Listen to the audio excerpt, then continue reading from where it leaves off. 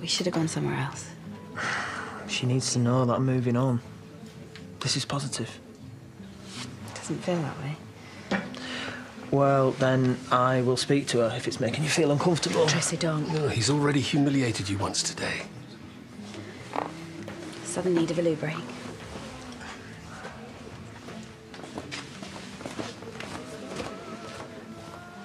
Hi. Okay, so uh, you've got your moment, and Maya's feeling a little bit awkward, so. Well, it was actually her I wanted to talk to you about. Oh, really? Right, okay. Well, that's not really your place, is it? But go on. I know. It's, it's just I was talking to Liam and he made it sound like Maya could be trouble. Okay, right, okay. Now you're crossing a line. Because you don't get to say who I see. And trying- since when have you ever listened to people stirring, hmm? David, I obviously still care about you. Then let me make my own choices, like you made yours. I like Maya, and I don't know where it's going, but um, if you've got a problem with it, you need to work on that.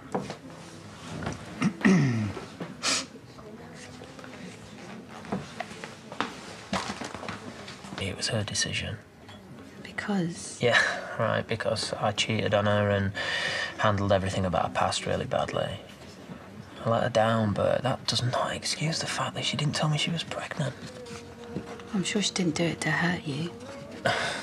Deciding whether to keep that baby was probably the hardest decision of her life. I would have been there for her. Yeah? For the next 16 years, minimum. Co parenting a child that you didn't even plan for. She's allowed not to want that. To save having a child till she's in a relationship with someone that, that she loves, that she trusts. That's what she said. Maybe she was right, we were in the wrong place.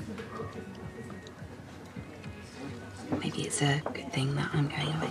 Do, do you know what? This is not that day I was talking about, okay? That's for when you get back. You text me and I'll be there. Do you remember when you first arrived?